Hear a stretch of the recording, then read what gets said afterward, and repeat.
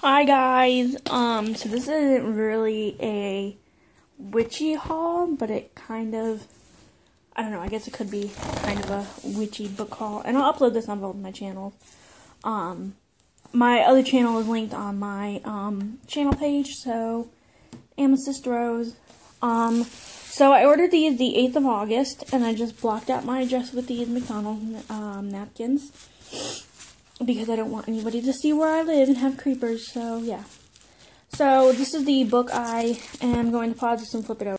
Okay, so this is the book, and it is a um, book that I've been wanting to read, and it's, uh, throwing that aside, it is the first book in the series. It is called Carrier of the Mark by Leigh Fallon, and I really want to read this, so. What? Very good, my ass is bent down the middle. Really? Hmm, shit, this is the last time I'm ordering books from them. But then again, well, I don't know. I don't know if it was the person who had it or what. But this is the the book. Um, and it says when Megan Rosenberg Rosenberg moves to Ireland, everything in her life seems to fall into place. After growing up in America, she Surprised to find herself feeling at home in her new school, she's connected with a group of friends and she's instantly drawn to darkly handsome Adam Dearest. Dearest? I don't know, I'm not. Well, I am part Irish, but I don't know how to pronounce that. But Megan is about to discover that her feelings for Adam are tied to a fate that is that was sealed long ago and that the person in power that brought them together could be their ultimate destruction.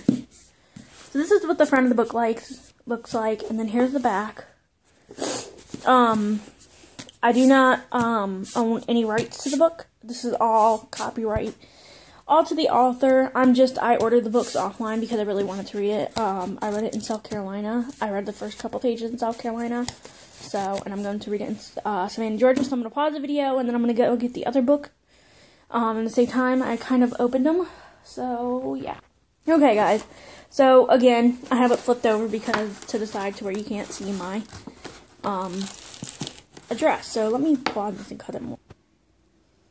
Um, this is where I got it from. So I don't want to show any further because I don't want to show the person's address. I'm going to pause this, move this um, paper out of the way.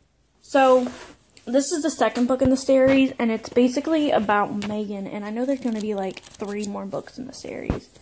Um, I remember reading the author's page, and she said there's going to be six books total in the series. So, yeah.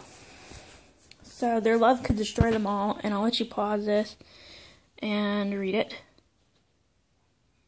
So, yeah, these are the books. My witchy book kind of haul. Not really witchy book kind of haul, but yeah. Um, I own all rights go to the author of the book. I'm not trying to sell them or anything. I just and there's some mark. That's why I hate using Amazon. Um. So yeah, I'm gonna take these to work tonight and read some awesome while I eat my McDonald's. Mm.